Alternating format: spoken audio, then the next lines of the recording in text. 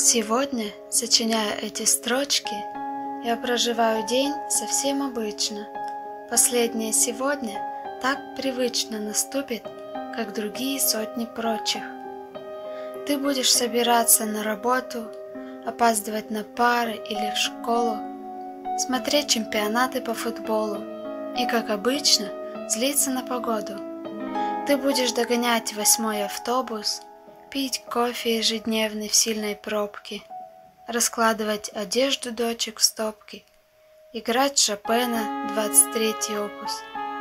Ты будешь всей семьей гулять по парку, билеты покупать у проводницы.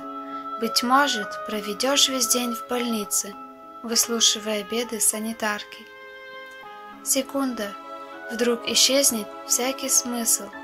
Ты выбежишь из стен многоэтажки, а во дворе знакомые ромашки, но в душу словно нож вонзится мысль. Последнее сегодня наступило, и мама не пошлет тебя за хлебом. Напрасно поднимаешь взгляд на небо, ведь небо доступ навсегда закрыло. В слезах ты кинешь телефон об стену, кричать не надо, Бог уже не слышит. А солнце греет городские крыши, и эхом воют где-то там сирены. А душу леденит ужасный холод, так хочется вернуть назад минуту. А кто-то там так громко бьет посуду, и кровь в висках, так больно, словно молот. Опустишься с надеждой на колени, а в сердце пусто.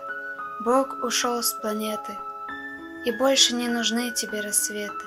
Остались миллионы сожалений. О самом главном мы с тобой забыли.